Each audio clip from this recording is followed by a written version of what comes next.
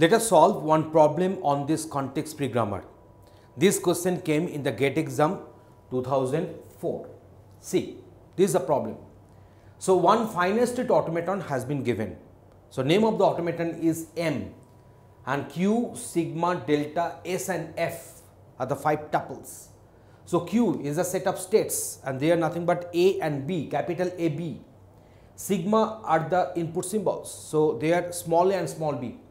Starting state is A and set of final states is containing B only. And these are the transitions are given. Okay. A grammar to generate the language accepted by M can be specified as G is equal to Vn sigma Ps. So, from that final state automaton, they are trying to get one equivalent grammar. So, here it is Vn sigma Ps and Vn is equal to Q union sigma that is a set of states union set of input alphabets and S is equal to A. So, that is a start symbol will be A that is the initial state and which of the following set of rules will make L of G is equal to L of M. So, finite state automaton has been given and you, you, uh, you shall have to find out the respective equivalent context free grammar. So, here lies the problem. So, how to solve it?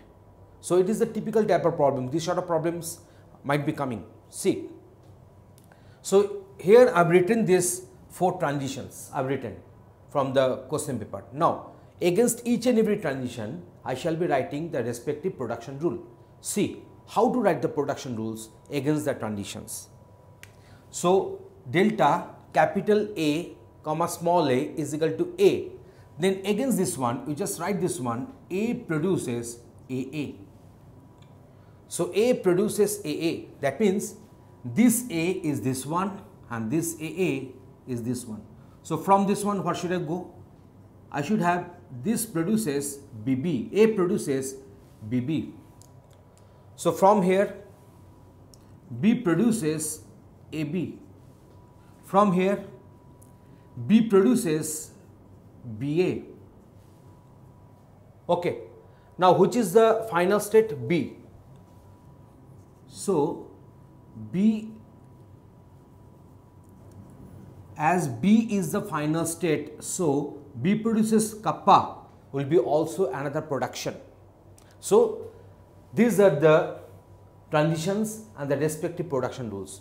Now, in my options, I shall have to um, uh, search that which option is having all these five production rules. So, A produces AA, A produces BB, B produces AB, B produces AB. Okay, so B produces BA. I think it is matching with the sigma. So, otherwise other things are not matching. So, this is answer. So, answer will be option number B. So, in this way from the given a finite state automaton, uh, deduce the respective grammar and now the option is very simple. So, you should have to match, you should have to match that which uh, Uh, option is matching with our proposed grammar. So, in this way such problems can be answered. Thanks for watching this video.